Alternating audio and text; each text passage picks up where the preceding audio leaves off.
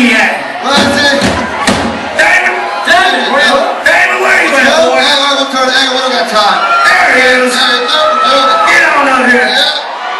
Stand up, let's do this shit. I think you guys know who this motherfucker is right here. We did a little singing on our album.